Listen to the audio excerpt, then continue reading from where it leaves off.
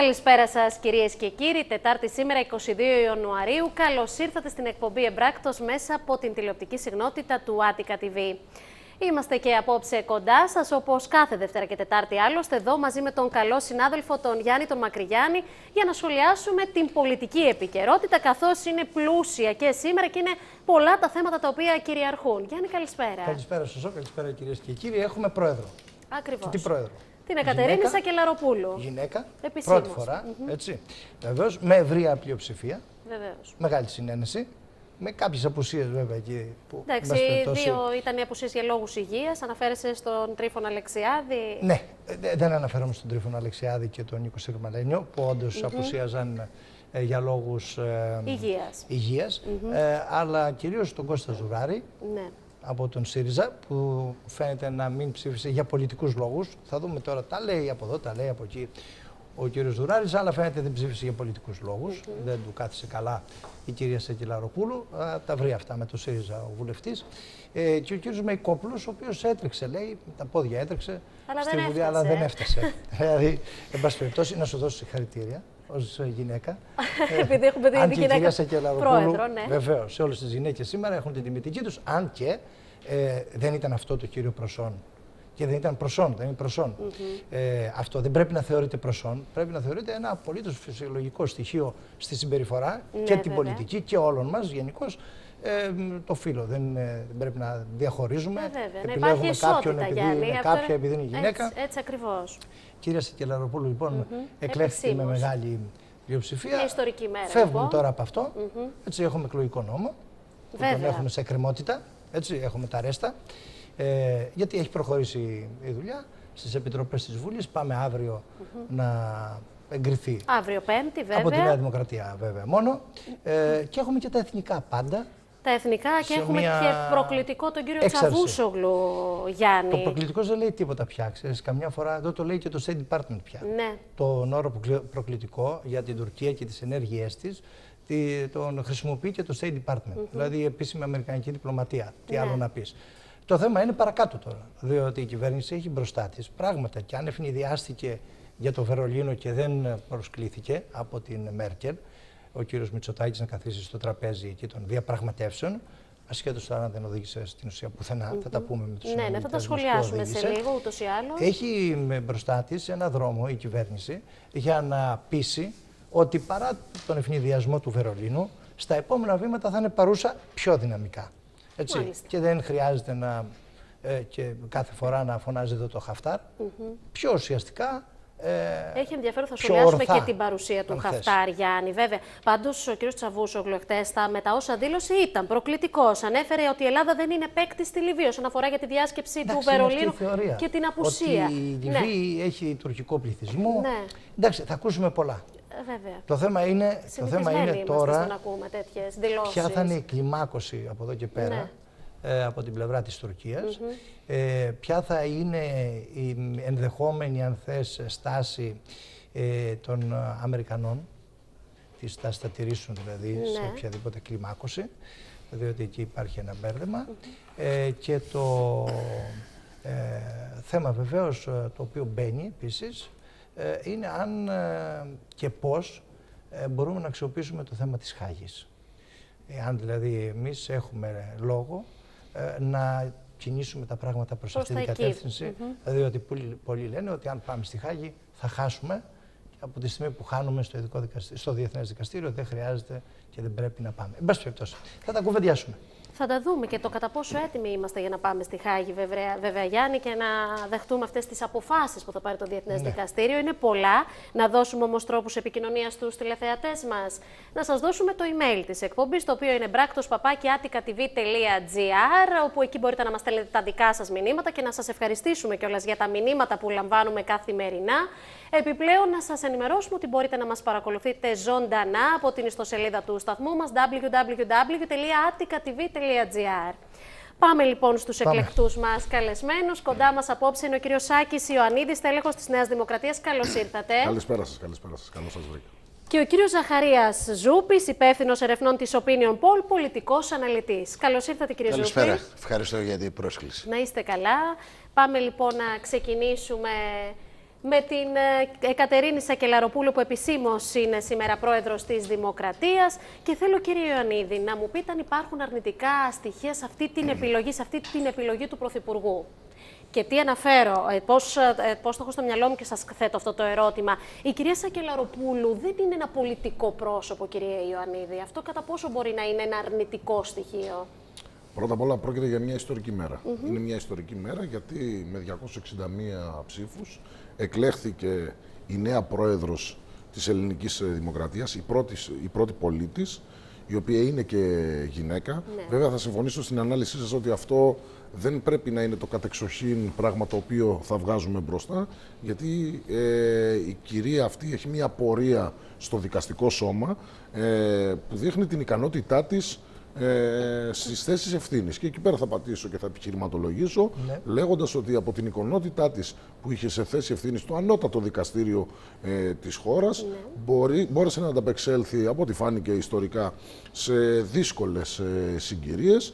Και επειδή ο πρόεδρος της Δημοκρατίας, βέβαια με μειωμένες ε, αυτή είναι η πραγματικότητα αρμοδιότητες, ε, χρειάζεται ένα πρόσωπο το οποίο είναι σοβαρό, το οποίο είναι επιτυχημένο και το οποίο θα μπορέσει να ανταπεξέλθει στο ρόλο του. Οπότε η κυρία Σακελαροπούλου τηρεί αυτά εδώ τα στοιχεία και μάλιστα το ότι τηρεί αυτά τα στοιχεία φάνηκε και από την ευρεία πλειοψηφία ε, ναι. η οποία πήρε αφού συνεφώνησαν και τα περισσότερες πολιτικές δυνάμεις και αναγνώρισαν αυτό, αυτή την ναι. πορεία της Σε αυτό ο κύριος Μητσοτάκης το πέτυχε κύριο Ανίδη, αλλά ένα ερώτημα τώρα έτσι, γιατί εσείς προέρχεστε έτσι από τα σπλάχνα της Νέας Δημοκρατίας.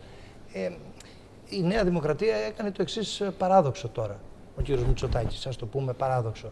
Ενώ είχε ένα πρόεδρο από την παράταξή σας, τον κύριο Παυλόπουλο, ε, δεν πήγε στην ανανέωση της θητείας του, αλλά πήγε σε ένα πρόσωπο το οποίο το υπονόησε και ο ίδιος, ασχέτως αν σωστά έκανε ή όχι, ε, ε, δεν προέρχεται από την παράδοξη, σας, προέρχεται από την, ας το πούμε, κεντροαριστερά, πώς να το πούμε. Λοιπόν, πάντως όχι από τη Νέα Δημοκρατία. Ο δεξιός ο ψηφοφόρος λοιπόν τώρα σου λέει ένα πράγμα.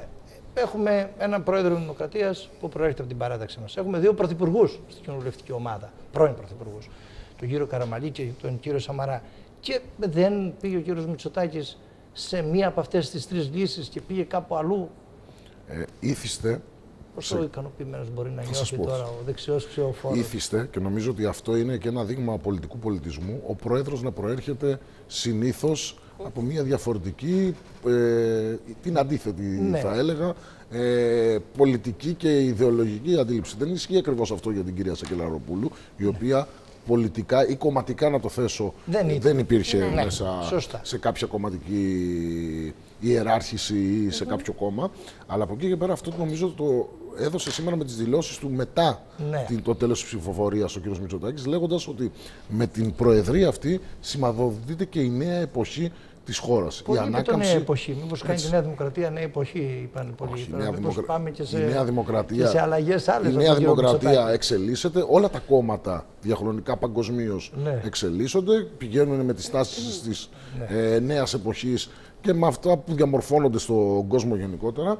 Αλλά από εκεί και πέρα το ότι δεν προτιμήθηκε ε, που ήταν άξιοι και οι τρεις οι οποίοι προαναφέρατε και θα μπορούσαν άνετα να ανταπακριθούν στο, σε αυτό το ύψιστο καθήκον, δεν σημαίνει από την άλλη ότι δεν μπορεί η κυρία Σακελαροπούλου να το κάνει. Ήθιστε λοιπόν και να μπαίνουν από διαφορετικές ε, παρατάξεις ναι. Και ήθιστε κυρίως να, να, να, να, να ζητούν στο πρόσωπο του ναι. Προέδρου την ευρεία πλειοψηφία. Και η, πραγματικότητα είναι ότι δεν ξέρουμε αν υπήρχε αυτή η ε, ευρεία, η ευρεία πλειοψηφία. στο πρόσωπο του κ. Παυλόπουλου. Του κ. Παυλόπουλου υπήρχε και ο κ. Παυλόπουλος έκανε Στον μια. κ. Καραμαλή που ο, ο, ο κ. Τσίπρας ήθελε να τον ψηφίσει το 2015 για πρόεδρο, γιατί δεν υπήρξε. Δεν υπήρχε κάτι αποτυπωμένο του κ. Τσίπρα επισήμως για τον κ. Καραμαλή. Για, για να το ξέρουμε. Ο κ. Τσίπρας πρότεινε τον κύριο Παυλόπουλο. Αλλά από εκεί και πέρα Κατά την άποψη μου, ο κ. Παυλόπουλος είχε ένα επιτυχημένο έργο στην ε, πορεία του, ειδικά σε δύσκολες συνθήκες και κυρίως το πρώτο ναι. εξάμεινο το δύσκολο εξάμεινο της διακυβέρ... διακυβέρνησης του Τσίπρα. Από εκεί και πέρα το μαχαίρι και το καρπούζι το έχει ο Πρωθυπουργός και ήθελε να σηματοδοτήσει ουσιαστικά αυτή τη νέα ναι. Ε, εξέλιξη στο... στην πορεία ναι. της ε, χώρας. Εγώ σας είπα για το μέσο ψηφοφόρο της Νέας Δημοκρατίας, βέβαια. Ο μέσος ψηφο... Ο μέσος ψηφοφόρος της Νέας Δημοκρατίας και ο μέσο Έλληνας πολίτης, αυτό που τον ενδιαφέρει, το ξέρετε πολύ καλύτερα από μένα, είναι η καθημερινότητά του, είναι πώς εξελίσσονται τα Ναι. πράγματα στην οικονομία, είναι η ασφάλειά του και νομίζω είναι αυτά τα σημαντικά θέματα τα οποία ε, βάζει κυρίως ως όρο για το τι θα ψηφίσει σε κάθε εκλογική διαδικασία. Οπότε νομίζω ότι δεν είναι αυτό το οποίο βάζει ως πρώτη προτεραιότητα το ποιος θα είναι πρόεδρος της Δημοκρατίας. Μάλιστα, να πάμε και στον κύριο Ζούπη και να μας πει τι σηματοδοτεί αυτή η επιλογή της κυρίας Ακελαροπούλου και πιο πολύ να σας πω τι σημαίνει για τα ανοίγματα του κυρίου Μητσοτάκη στο κέντρο αυτή η επιλογή. Μπορεί και τίποτα. λοιπόν, Καλά τώρα, το γεώργιο. εγώ λέω, εγώ λέω, λέω το εξής. Δεν, κάνει, δεν έχει μια Το στρατηγική ξεκινάω ο κύριος, έτσι. ο κύριος Μητσοτάκης, δεν έχει μια στρατηγική να Γιατί- διαβολήσει το, την κέντρο αριστερά, το κέντρο Προσέξτε, κτλ. παρακολουθώ μια συζήτηση από το καλοκαίρι και μετά Ναι. σε σχέση με τον πρόεδρο. Τι ξεκίνησε ο ΣΥΡΙΖΑ όταν έλεγε ότι πρέπει να είναι ο Προκόπης Παυλόπουλος και μετά μπήκαν ε, 10 ονόματα, γραφόντουσαν ένα ΣΥΡΙΖΑ λάξ. είχε υποψήφιο πρόεδρο. γι' Ε, αυτό το έβαζε, έλεγε. έβαζε, έβγαζε, ναι. Ε, μπαίναν ονόματα. Εκεί ε, παρακολουθούσα και διάβαζα τις περιγραφές τι πρέπει να έχει ένας πρόεδρος της Δημοκρατίας.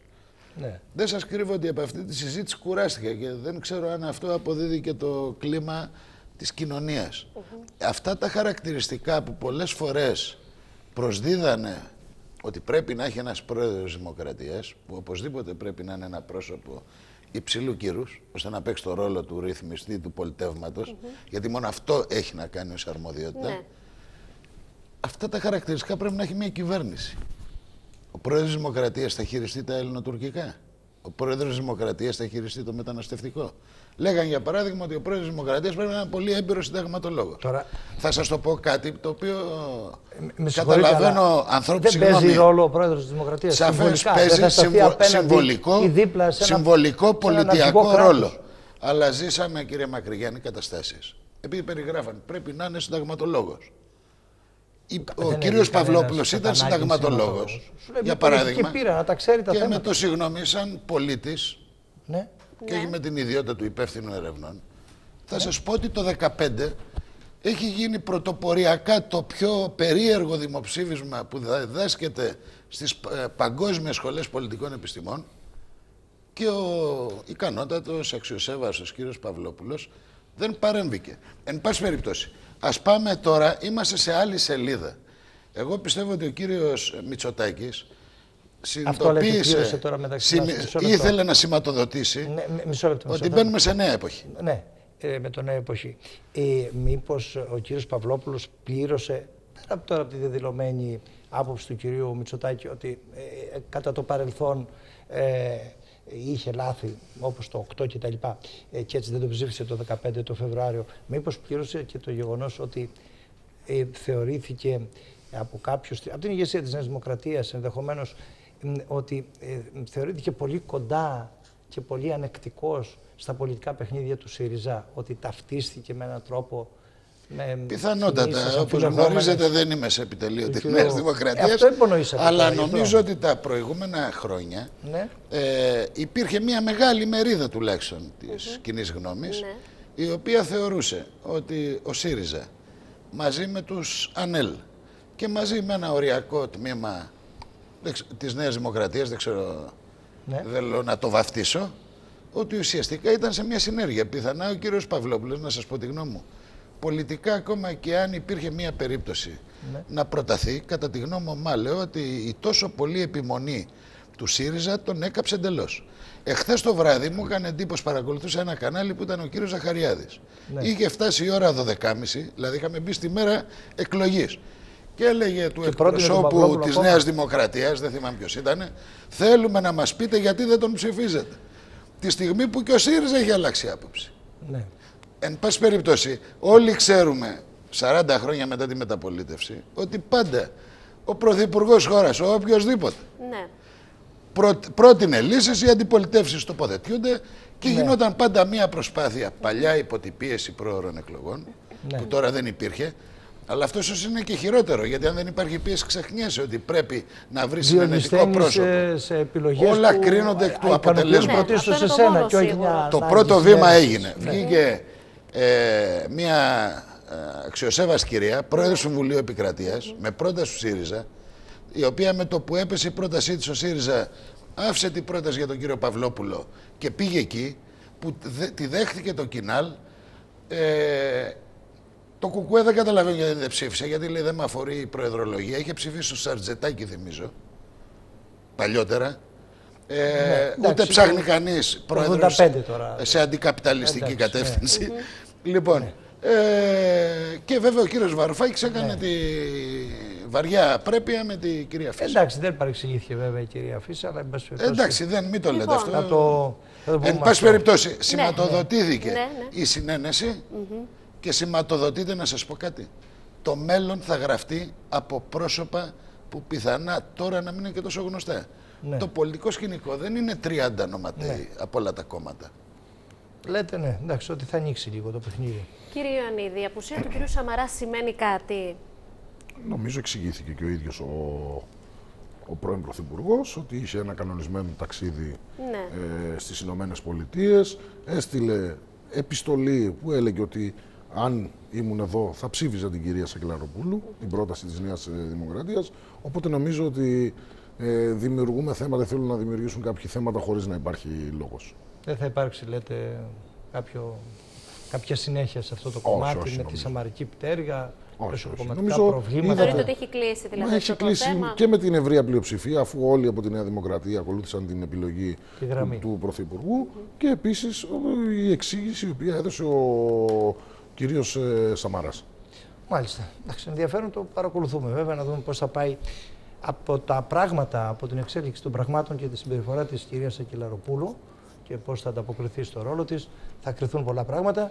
Με αυτή τώρα την ιστορία, κύριε Ιωαννίδη, ε, της προεδρικής εκλογής που μπήκε τώρα έτσι γρήγορα, ε, ενώ υπήρχε ένα περιθώριο συνταγματικό, πάντως μπήκε γρήγορα για να τελειώσει η υπόθεση, πήγε λίγο πίσω, δηλαδή την πήγε, πήγε δύο μέρες πίσω ο εκλογικός νόμος, έτσι. Ψηφίζετε λοιπόν αύριο με ΑΙ και ψηφίζετε και με Ε, γιατί μόνο εσείς το ψηφίζετε, ενώ η Νέα Δημοκρατία, το νέο εκλογικό νόμο, ο νέος εκλογικός νόμος. Ε, ε, ε, ένα ερώτημα που μπαίνει, η, η, η πολύ γρήγορη έτσι, ψήφιση του εκλογικού νόμου μπορεί να σημαίνει ότι απελευθερώνονται εκλογικά σενάρια; Ότι ανά πάσα ώρα και στιγμή, δηλαδή από τούδε και στο εξής, και μόλις το κρίνει ο κ. Μητσοτάκης, ε, όπως κάνουν πάντα οι πρωθυπουργοί σε αυτές τις περιπτώσεις, μπορεί να πάμε σε εκλογές. Γιατί ξεκίνησαν τα σενάρια, τα είδατε. Από την πρώτη μέρα που εκλέγεται ο Πρωθυπουργός, πάντα υπάρχει μια σενερολογία πότε θα γίνουν οι επόμενες Ναι. Ναι. εκλογές. Στην Νομίζω, Ελλάδα εσείς, το έχουμε, νομίζω ναι. εσείς το αντιλαμβάνεστε περισσότερο. Νομίζω ότι δεν έχει αυ- ανάγκη αυτή την εποχή η πο- η κοινωνία τις εκλογές. Αυτό που χρειάζεται είναι σταθερότητα, να μπουν τα πράγματα σε ράγες που σιγά σιγά μπαίνουν κυρίως στην οικονομία και στα επίπεδα που αφορούν τα θέματα ασφάλειας, τα θέματα της καθημερινότητας του πολίτη. Ήταν ανάγκη επιτακτική να αλλάξει ο εκλογικός νόμος και ήταν μάλιστα και μέσα στις διακήρυξεις της Νέας Δημοκρατίας προεκλογικά για έναν σημαντικό και σοβαρό λόγο. Γιατί αν πηγαίναμε σε επόμενες εκλογές με την απλή αναλογική και χρειαζόταν από εκεί να σχηματιστεί η κυβέρνηση, αντιλαμβάνεται ότι η χώρα θα έμπαινε σε ένα επικίνδυνο παιχνίδι ακυβερνησίας. Και για να επιχειρηματολογήσω πάνω σε αυτό, σας λέω ότι με τις δυνάμεις οι οποίες θα μαζεύονταν εκλογικά δεν θα μπορούσαν να βρούνε την άκρη, κατά τη δική μου άποψη, να σχηματιστεί μια κυβέρνηση ή θα ήταν μια κυβέρνηση η οποία θα ήταν σε γυάλινα πόδια. Το άλλο επιχείρημα που λένε μο- μερικοί ότι με αυτόν τον εκλογικό νόμο, ο οποίος είναι αναλογικότερος από τον πόνους των 50 εδρών που υπήρχε παλαιότερα, που εκλέγει και, Από την και ο τυπική ΣΥΡΙΖΑ και η εφαρμογή Νέα του Δημοκρατία. προηγούμενου συστήματος. Αλλά σας λέω το εξής. Υπήρχε ένα επιχείρημα που έλεγε ότι δεν θα υπάρξει με αυτόν τον νόμο ε, κυβερνήσεις συνεργασίας. Αλλά το επιχείρημα αυτό είναι έολο. Γιατί θέλω να σας θυμίσω ότι και με το ε, μπόνους των 50 εδρών που υπήρχε, δηλαδή ένα σκληρότερο σύστημα για το πρώτο κόμμα που παίρνει τον πόνου, είχαμε δύο κυβερνήσεις συνεργασίας. Είχαμε την κυβέρνηση ε, Σαμαρά Βενιζέλου και την κυβέρνηση Τσίπρα Καμένου. Άρα λέτε δεν απελευθερώνονται εκλογικά σενάρια. Άρα αυτό το οποίο λέω ότι πρώτον και βασικό στοιχείο του νέου εκλογικού νόμου είναι να μπορεί να διατηρηθεί η κυβερνησιμότητα σε μια χώρα στην Ελλάδα δει, ειδικά αυτήν εδώ την περίοδο που αλλάζουν τα πράγματα, που μόλις αρχίζουμε και ορθοποδούμε σαν χώρα. Και το δεύτερο ότι με αυτόν τον νόμο, ο οποίος είναι αναλογικότερος, στηρίζονται πολύ πιο δυνατά τα σενάρια της, ε, των κυβερνήσεων συνεργασιών, αλλά όχι σε εκβιαστικό επίπεδο. Γιατί το να κάνω μια συγκυβέρνηση Ποιος με, εκ- άμα με πάρει εκβιαστικό επίπεδο. αυτοδυναμία, ότι πρέπει- Ποιο πάει μετά στην κυβέρνηση συνεργασίας; Σε; Άμα έχει κάποιος Μα για να πάρει αυτοδυναμία θα πρέπει Τι να εννοείται πιάσει. εκβιαστικά Για- ή όχι, εννοώ με την απλή αναλογική. Εκβιαστικά θα έπρεπε να γίνει μια κυβέρνηση, ε, σε εισαγωγικά εκβιαστικά. Εκβιαστικά θα πρέπει να γίνει μια κυβέρνηση συνεργασίας. Συνεργασίας. Το Ναι. θέμα είναι οι κυβερνήσεις συνεργασίας να μην γίνονται Ναι, εκβιαστικά. αλλά αν υπάρχει για να υπάρξει προγραμματική μια. βάση. Αυτό λέω. Να υπάρξει προγραμματική βάση η κυβέρνηση συνεργασίας. Και με τον νέο νόμο, αν κάποιος δεν πιάσει το αυτοδύναμο σενάριο, όπως το λέτε, θα μπορεί να γίνει πιο εύκολα κυβέρνηση συνεργασίας και το έδειξε το πρόσφατο παρελθόν. Κρατήστε την κουβέντα, κύριε Να Ζούπη, θα τα πάμε- πάμε μετά. να πάμε μετά το προχωράμε διάλειμμα. Μετά το διάλειμμα. Ωραία. Γιατί έχει πολύ Έχει σημασία. ενδιαφέρον για τον εκλογικό Και νόμο. ενδιαφέρον βεβαίως. ε, αυτή η συζήτηση για τον εκλογικό νόμο, γιατί ανοίγει πράγματα. Μμμ, Βεβαίως, θα Παρότι τα τα δούμε. αρνείται ο κύριος Ιωαννίδης αυτά τα εκλογικά σενάρια, εμείς θα επιμείνουμε σε αυτά. Θα επιμείνουμε. Αμέσως λοιπόν, μετά. πάμε σε ένα σύντομο διαφημιστικό διάλειμμα, κυρίες και κύριοι. Σε λίγα λεπτά και πάλι κοντά σας.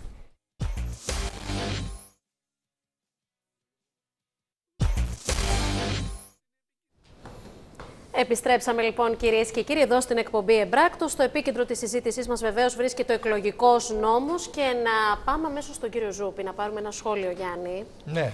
Και να μας πείτε, κύριε Ζούπη, αν υπάρχει το ενδεχόμενο προσφυγής στις κάλπες στο επόμενο διάστημα με αφορμή τον εκλογικό νόμο. Πώς το βλέπετε εσείς αυτό το σενάριο; Εγώ που να το ξέρω αυτό. Εσείς τι, εκ- εσείς τι εκτιμάτε, σίγουρα δεν το ξέρετε. Ε, αλλά- αυτό, αυτό το οποίο μπορώ να σας πω είναι το εξής. Ε, και απευθύνομαι προς όσους μπορεί και να το σκέφτονται καν. Ναι. ναι. Προσέξτε. Αυτή η χώρα έχει περάσει μια δεκαετή πορεία κρίσης, μνημονίων. Η κοινωνία είναι κουρασμένη.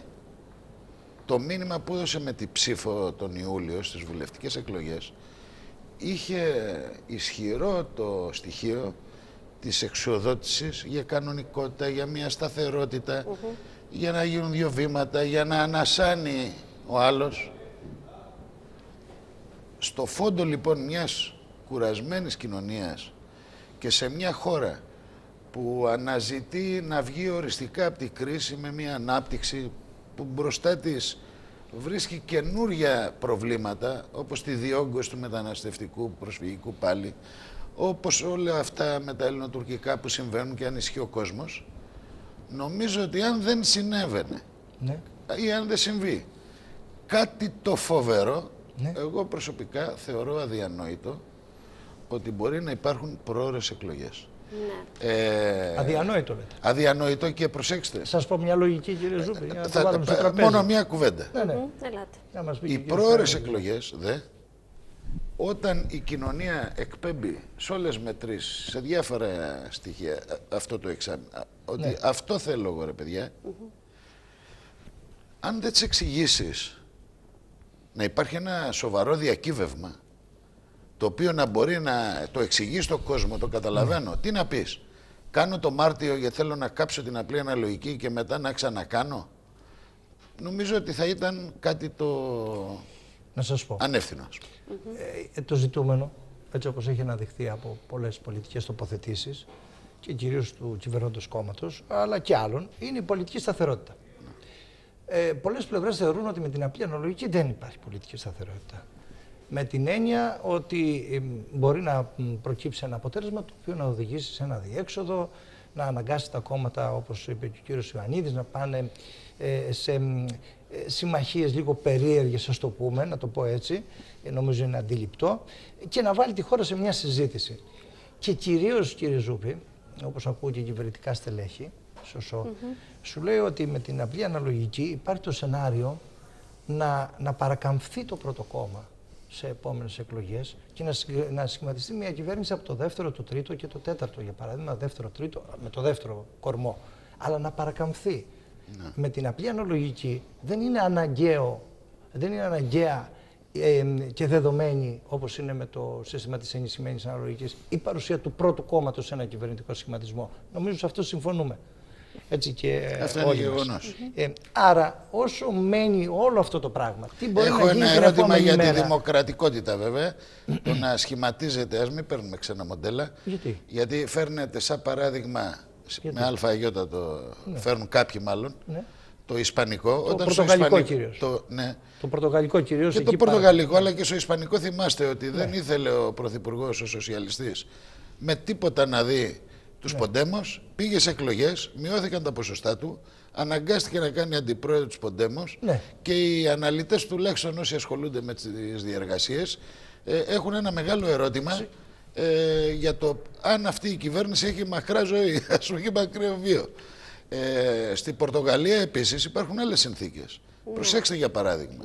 Το 89 το Κομμουνιστικό Κόμμα Ελλάδας, το λέω αυτό για, για τα όσους φέρνουν τα παραδείγματα της Πορτογαλίας, συμμετείχε σε τρεις κυβερνήσεις. Έστω μεταβατικές. Ναι. Θυμάστε. Κυβέρνηση Τζανετάκη, Οικουμενική, Βεβαίως. μέχρι Βεβαίως. που βγήκε μετά ο Κωνσταντίνος Καραμαλής με 48,5. Ο λοιπόν, Μητσοτάκης. ο, Μι- ναι, ο, Μητσοτα... ο Κωνσταντίνος Μητσοτάκης. Ναι, Λοιπόν, ε, α, τώρα έχεις ένα κόμμα δεδομένο, Ναι. Το οποίο είναι ένα κόμμα ιστορικό που πάνω κάτω κρατάει τις δυνάμεις του, Ναι, γι' αυτό αναφέρομαι σε αυτό, και το οποίο σου λέει εγώ δεν συμμετέχω. Άρα πρακτικά μιλάμε για, ένα, για την περίπτωση που ανεβαίνει ο ΣΥΡΙΖΑ σε ένα 32-33-34 που το Κινάλ κατορθώνει να πάρει 8 ας πούμε, να διατηρήσει. πάρει 10 και 11, Ή μην να το πάρει και 10-11 Δεν υπαρκτό το και σενάριο άρα αυτό, να γίνει. Δεν το συζητάμε. Είναι υπαρκτό θεωρητικά. Κατά τη γνώμη μου ε, είναι τόση απόσταση του Κινάλ από το ΣΥΡΙΖΑ που στο ορατό δεν ξέρω τι θα γίνει μετά από 2-3-4 χρόνια. Μιλάμε τώρα, ναι. Που τώρα Στην μια παρούσα τέτοια ε, τυχόν συνάντηση θα διέλυε εντελώς το Κινάλ. Ναι. Εντάξει, αυτό είναι μια πολιτική εκτίμηση. Πάντως, Πάντως, εγώ θέλω να βάλω. επί του θέματο. Ξέρετε γιατί το λέω, δεν είναι προσωπική μου άποψη. Ναι. Τα δύο τρίτα, μου φαίνεται και εδώ το έχουμε πει. Ναι, ναι. ναι. ε, σε δημοσκοπήσεις Σεπτέμβρη, Οκτώβρη, Νοέμβρη. Τρεις δημοσκοπήσεις. Στις διάφορες πολιτικές της κυβέρνησης και συνολική ικανοποίηση, οι δύο, ε, οι Στους δύο τρεις στους τρεις ψηφοφόρους αισθανόντουσαν του του κινήματος Κινάλ, αλλαγής, αισθανόντουσαν ε, της ικανοποιημένοι από το τι κάνει η κυβέρνηση. Σε αυτούς τι θα πεις αύριο, ότι εγώ κάνω κυβέρνηση με Εντάξει, το αλλά- Τσίπρα. Όπως και να έχει. Θα Και λέω, κινούνται. Κινούνται. ναι. Δύο παρατηρήσεις θέλω να Δύο κάνω. Όπως και παρατηρήσεις. να έχει. Ελάτε. Ο κόσμος θέλει αποτελέσματα στην πολιτική και περιμένει να δει αποτελέσματα. Αν μια κυβέρνηση έχει θετικά αποτελέσματα, θα την ψηφίσει. Αν μια κυβέρνηση δεν έχει, αρν- α, έχει αρνητικά αποτελέσματα, Ναι. δεν θα την ψηφίσει και θα πάει στο άλλο κόμμα. Έτσι γίνεται συνήθως στις εντάξει, δημοκρατίες. κύριε Είναι Αγγέλη, βασικό τώρα, όμως αλλά- να δίνουμε χώρο στην εκάστοτε Οι, οι κυβέρνηση. όροι του πολιτικού παιχνιδιού. Συμφωνώ. έχουν πάντα σημασία. Αλλά δίν- πρέπει να είναι σας πω εγώ σι- τώρα ένα σημαντικό παράδειγμα. Ναι. να δίνουμε στην εκάστοτε κυβέρνηση το χώρο και το χρόνο, έτσι Ασφαλώς. ώστε να μπορεί να αναδείξει και γι' αυτό είναι σημαντικό ο εκλογικός νόμος. Ναι. Αν μέσα έχεις κάποια κόμματα σε μία συγκυβέρνηση που μπορεί να μην συμμετέχει το πρώτο κόμμα, όπως πολύ ορθά είπατε με την απλή αναλογική, και η πορεία της χώρας παραμένει μία πορεία καθίζησης, αυτό προφανώς δεν ευνοεί καθόλου Ναι. τι- ο- Το τι- σύνολο, ας το πούμε, σύνολο ναι. της κοινωνίας και προφανώς τι εξελίξει τη χώρα μας. Και ειδικά σε αυτήν εδώ την Να σας περίοδο πω τώρα κάτι. που είναι τεταμένα τα πράγματα με την τουρκική πλευρά. Επειδή μένουμε Και στο- το δεύτερο Ναι, που ήθελα ναι, να ναι, ναι, τονίσω για συγγνώμη, να ναι. λήξω Ναι, ναι. είναι η στάση του Κινάλ. Το Κινάλ, βλέπετε τι λένε οι ψηφοφόροι τους. Πολύ σωστά το επισήμανε ο κ. Ζούπη. Το Κινάλ ήταν κοντά στη λογική ενός αναλογικότερου συστήματος αυξημένης πλειοψηφίας. Και τώρα βλέπουμε ότι καν δεν μπήκε στη συζήτηση να συζητήσει με τη Νέα Δημοκρατία πώς μπορούμε να συνδιαμορφώσουμε Ε, Σου λέει ακόμα αυτό πιο τον αναλογικό, εκλογικό. Δεν το βρήκατε. Δεν μπήκε όμως στη συζήτηση καν να το διαμορφώσουμε αυτόν εδώ τον αναλογικότερο.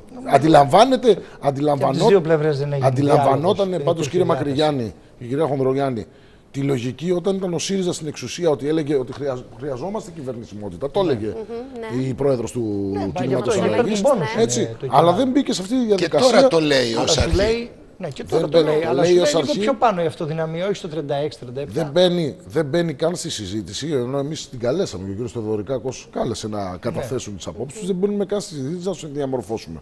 Και αυτό νομίζω θα το πληρώσει από την πλευρά τους σε επίπεδο ψηφοφόρων προφανώς το Θα κίνημα δούμε, θα αλλαγής. το δούμε. Να σας πω τώρα λοιπόν, να βάλω ένα θέμα, επειδή μιλήσαμε και για τη δημοκρατικότητα του συστήματος.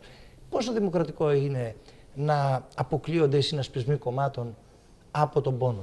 Δηλαδή, γιατί να, πάρει, γιατί να έχει το δικαίωμα ένα κόμμα μόνο του και μόνο αυτό, και εφόσον είναι μόνο του, να πάρει τον πόνο των 50 εδρών, των 30, 40, 50, όσο είναι ανάλογα το ποσοστό του, γιατί ξέρουμε ότι είναι κλιμακότο τώρα, ανάλογα λοιπόν πώς πάει, και να μην έχει το ίδιο δικαίωμα ένας συνασπισμός κομμάτων, ο οποίος μπορεί να έχει με, προχωρήσει σε, αυτό το, ε, σε αυτή τη συμφωνία ανάμεσα στα κόμματα, δηλαδή σε μια προγραμματική βάση, πολύ καθαρά πριν τις εκλογές κτλ.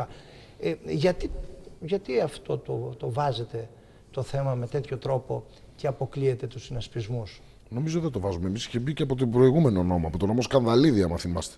Και γι' αυτό ο ΣΥΡΙΖα Ε, έγινε από Όχι, ένα κόμμα. Τότε ίσχυε ο νόμος Παυλόπουλου. Ο νόμος το... Κανδαλίδη δεν προέβλεπε αυτό. Ο και νόμος ο... Παυλόπουλου το έβαλε αυτό. Και ο νόμος Κανδαλίδη δεν προέβλεπε, δεν προέβλεπε να παίρνουν μπόνους οι συμμαχίες των κομμάτων, άμα δεν είναι ένα ενιαίο κόμμα. Και μετά ο νόμος Παυλόπουλου ήρθε να επιβεβαιώσει αυτό το οποίο έλεγε και ο προηγούμενος νόμος. Εν πάση περιπτώσει. Ναι, δεν το θυμάμαι έτσι ακριβώς το... εγώ, αλλά εν πάση περιπτώσει είναι ένα θέμα τώρα όμως, είτε το ένα είτε το, είτε το ένα είτε το άλλο. Ναι. Αυτό το οποίο λέμε εμείς είναι ξεκάθαρο. Ναι. Λέμε ότι αυτός ο οποίος θα έχει τις τύχες της χώρας στα χέρια του, αφού βγει πρώτο κόμμα με την ψήφο του ελληνικού λαού και έχει αυτά τα αυξημένα ποσοστά του 37, 38, 39, 40% να ναι. μπορεί να σχηματίσει κυβέρνηση. Ναι. Αυτό είναι το πιο σημαντικό, έτσι ώστε η χώρα Αυτό να μην μπλέξει. Όμως, αν είναι κόμμα. Να μην μπλέξει. Αν είναι συνασπισμός. Ο συνασπισμός κομμάτων προφανώς αντιλαμβάνεστε ότι μπορεί να ενέχει τον κίνδυνο ότι αυτό να γίνεται σε μια αιωλή βάση και όχι σε ένα σύνολο προγραμματικής ε, σύγκλησης των κομμάτων. Ναι. Όποιος θέλει να συμμετέχει κάπου και συμφωνεί με τις ιδέες κάποιου κόμματος μπορεί να μπει σε αυτό εδώ το κόμμα. Και από εκεί και πέρα, αν κάποιος θέλει να συνεργαστεί, μπορεί να συνεργαστεί σε ναι, επίπεδο μετά ε, βάση συνταγματικής. Μισό λεπτό. Λέτε όλοι, αυτό είναι μια πολιτική κρίση. Προφανώς. Ε, αυτό θα το αποφασίσουν οι ψηφοφόροι στο τέλος τέλος. Δηλαδή, εάν δύο κόμματα συνασπιστούν πριν τις εκλογές, παρουσιάζουν το πρόγραμμά τους και ο ελληνικός λαός τους δώσει την πρώτη θέση, σημαίνει ότι για τον ελληνικό λαό αυτό που παρουσιάζουν είναι ένα πιστικό και αποδεκτό πράγμα. Άρα και με δεδομένο ότι υπάρχει ένα μπόνους για, το πρώτο, για, για τον νικητή των εκλογών, ας το πούμε έτσι, σημαίνει ότι ε, θα έπρεπε και αυτοί να πάρουν τον πόνους. Γιατί να μην το πάρουν, γιατί το αποκλείεται. Εντάξει, γιατί αυτό είναι γιατί ουσιαστικά. Αντισυνταγματικό, αντιδημοκρατικό αυτό. Δεν βγήκε αντισυνταγματικό και δεν κρίθηκε αντισυνταγματικό. Δεν, δεν κρίθηκε καν. Δεν κρίθηκε καν. Δεν, ε, δεν, ε, κανένας δεν, πάει δεν προσέφηκε κανένας. Κανένας δεν προσέφηκε. Η διαδικασία είναι τέτοια, κύριε Αγγέλη. Όλοι οι νόμοι. Πρέπει να εφαρμοστεί ο νόμος ε, Αυτό βέβαια το οποίο λέτε ότι δεν πήγε κανένας να βγάλει το όνομά της συνταγματικό. Ξέρετε ότι όλοι οι νόμοι περνάνε από, το, από την Επιτροπή για να ναι. κρυθούν άμα είναι βάση του συντάγματος ή όχι. Άρα κρίθηκε ότι αυτός ο νόμος και ο προηγούμενος δηλαδή ναι. το ήταν βάση του συντάγματος. Ναι. Εμείς αυτό, που λέμε, εμείς αυτό που λέμε είναι το εξής. Αν κάποιος κόμμα θέλει να συνεργαστεί με ένα άλλο κόμμα, ναι. αυτό θα το κρίνει όπως πολύ καλά είπατε κι εσείς ο ελληνικός λαός. Και θα το κρίνει βάσει των ποσοστών το οποίο θα δώσει στις βουλευτικές εκλογές. Και, και, γι αυτό, και γι' αυτό λέω εγώ ότι μπορεί οι προσυνεννοήσεις μόνο και μόνο για να πάρουμε την εξουσία ή προσυνεννοήσει για να κάνουμε ένα κόμμα μόνο και μόνο για να πάρουμε την εξουσία μπορεί να είναι πιο επικίνδυνες κατά τη δική μου άποψη και κρίση από όταν βγαίνει από ένα εκλογικό αποτέλεσμα. Αλλά αυτό το οποίο ζητάει μεταπιτάσεως η κοινωνία είναι μια νέα πορεία, μια σταθερότητα για να μπορέσουν να ορθοποδήσουν οι πολίτες. Αυτό είναι πάντοτε ζητούμενο εδώ που τα λέμε. Μάλιστα. Λοιπόν, λοιπόν, αν δεν είχε ο κύριος Ζούπης, μήπως. Θέλετε να κάνετε ένα σχόλιο πάνω στον να, εκλογικό νόμο, να κλείσουμε αυτό το θέμα; Ναι, βέβαια, να πάμε Εγώ νομίζω ότι τον εκλογικό νόμο πρέπει να το δούμε στο φόντο της προσήλωσης του κόσμου και της θέλησης του κόσμου να υπάρξει σταθερότητα. Ναι. Επίσης να έχουμε υπόψη ότι αυτός ο νόμος δέχεται κριτική ε, όχι από την πλευρά των δυνάμεων μόνο που θέλουν να πλήρη αναλογική. Μου έκανε εντύπωση τοποθέτηση του κυρίου Δρυμιώτη που λέει γιατί το κάνετε κλίμακο του τον πόνους; Δυσκολεύεται κάπως την αυτοδυναμία. Ε, κοιτάξτε, η χώρα κάνει εκλογές 14 με 15 χρόνια πάνω κάτω με παραπλήσια συστήματα, έτσι δεν Και κυβερνήσεις βγήκανε και συνεργασίες γίνανε και δοκιμάζεται. Ουσιαστικά, ακόμα και αν το κοινάλ ψηφίσει τη δικιά του πρόταση από ό,τι φαίνεται, ναι. υπάρχουν δύο κύκλοι αντιλήψεων. Η απλή αναλογική, η οποία οδηγεί σε διάφορα σενάρια, εγώ θα έλεγα ότι δεν θα άντεχε η κοινωνία να ζήσει για παράδειγμα αν με τις πρώτες εκλογές με απλή αναλογική δεν σχηματιστεί κυβέρνηση έστω συνεργατική ε, δεν θα άντεχε να ζήσει ας πούμε ένα ενδεχόμενο 89-90 τριών εκλογών σε 9 μήνες. Σε αυτές τις συνθήκες που ναι. ζει η χώρα. Ούτε δέστε, δε, δέστε την ατζέντα που μας απασχολεί καθημερινά. Ναι. Και για εθνικά θέματα, για αναπτυξιακά, ναι. οικονομικά. Το τελευταίο είναι, εγώ θέλω να πω τη γνώμη μου σε αυτό το ζήτημα, εγώ δεν θα τα απέκλεια με τους συνασπισμούς. Άλλωστε, προσέξτε, αν και περιέχεται το κίνδυνο, και σε αυτό έχει δίκιο ο κύριος Ιωαννίδης, του τυχοδιοκτικού χαρακτήρα, αλλά ας πάμε ότι αυτό το κρίνω εγώ, κάθε πολίτης που θα πάει να ψηφίσει. Δεν έχει όμως και η πολιτική ιστορία του τόπου τόσο μεγάλη εμπειρία. Δεν έχει καμία, εκτός από το η σύμπραξη και το συνασπισμό κουκουέ μουλού μουλού κουκουέ, Νομίζω ότι δεν έχει γίνει στη μεταπολίτευση άλλη σύμπραξη κόμματος ώστε να είναι μείζο θέμα, ας πούμε. Εγώ δεν θα τα απέκλεια να πει ότι κατεβαίνετε μαζί, σας κρίνει ο λαός και τα λοιπά. Δεν θα άλλαζε βέβαια κάτι ριζικά στον νόμο. Ναι. Εδώ βλέπετε τι δυσκολία υπάρχει να συνεννοηθούν δύο κόμματα μετακλογικά για να σχηματιστεί. Καλά, κυβέρνηση. έχουμε ζήσει και το άλλο. Τι Φανταστείτε δυσκολία και υπάρχει να εκλογικά. συνοηθούν οι ίδιες πλευρές του ίδιου κόμματος. Οι πλευρές του ίδιου κόμματος. Μα αυτό είναι ακόμα πιο δύσκολο συνήθως. Έτσι πάντοτε. Λοιπόν, να πάμε λίγο τώρα και στα όσα δήλωσε ο κ. Τσαβούσογλου και στην προκλητική αυτή δήλωση που έκανε ότι η Ελλάδα δεν είναι παίκτης της Λιβύης και ότι δεν είχε θέση στο Βερολίνο. Και θέλω να μου πείτε, κ. Ιωαννίδη, αν η θέση της Ελλάδας ήταν επιβεβλημένη στο, στην διάσκεψη του Βερολίνου για τη Λιβύη. Εγώ θα Ή θα ήθελα. χαρακτηριζόταν ως διπλωματική ήττα, όπως λέει η αντιπολίτευση, κ. Ιωαννίδη. Εγώ θα ήθελα η Ελλάδα να καθόταν στο τραπεζι Και νομίζω ότι είναι ένα λάθος της Γερμανίας που δεν κάλεσε την Ελλάδα να κάτσει στο τραπέζι αυτό. Βέβαια, κρίνοντα εκ του αποτελέσματος, γιατί αυτό είναι στο τέλος το οποίο μένει, ουσιαστικά αυτός ο οποίος έχασε, άμα θέλετε να βάλω αυτό τον όρο, στο συγκεκριμένο τραπέζι ήταν η Τουρκία. Έχασε, Ήταν- λέτε. Εγώ θεωρώ ότι έχασε. Και έχασε γιατί, γιατί νομίζω ότι όλοι οι συνδετημόνες, τουλάχιστον οι περισσότεροι, τη έδωσαν να καταλάβει ότι δεν μπορεί. Τη έβαλαν το θέμα του εμπάργου όπλων. Η Τουρκία ήταν αυτή η οποία μετέφερε όπλα και στρατεύματα στη Λιβύη. Οπότε ξεπέρασε το εμπάργκο το οποίο είχε μπει και νομίζω ότι εκεί πέρα της κούνησαν το δάχτυλο. Βλέπετε πώς έφυγε ο κύριος Ερντογάν.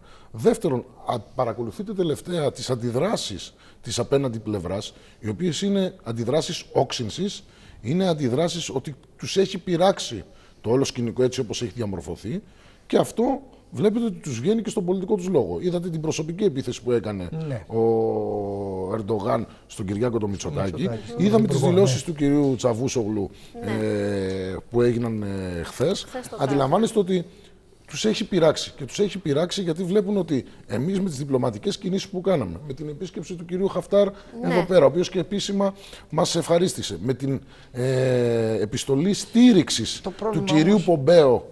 Και είναι σημαντικό αυτό. Ο οποίος έστειλε την επιστολή στήριξης ε, Μας της ζητάει διάλογο, ασφάλειας. βέβαια, με την Τουρκία. Της Μας ασφάλειας. Αυτό προτρέπει είναι, σε διάλογο, αυτό είναι έτσι. μια λογική, μια λογική που ακολουθεί πάντα η Αμερικάνικη πλευρά. Το να στείλει όμως επιστολή στήριξης Ναι. και μια λογική ότι αντιδρούμε σιγά σιγά, αυτό βγαίνει προς τα έξω από την Αμερικάνικη πλευρά στις κινήσεις που κάνει η Τουρκία. Αυτό είναι ένα σημαντικό βήμα για μας. Προφανώς και τα θέματα δεν λύνονται από τη μία μέρα στην άλλη. Προφανώς εμείς πρέπει να συνεχίσουμε το διπλωματικό πυρετό, τον οποίο έχει αρχίσει και ο Κυριάκος ο Μητσοτάκη και ο κύριος Δένδια.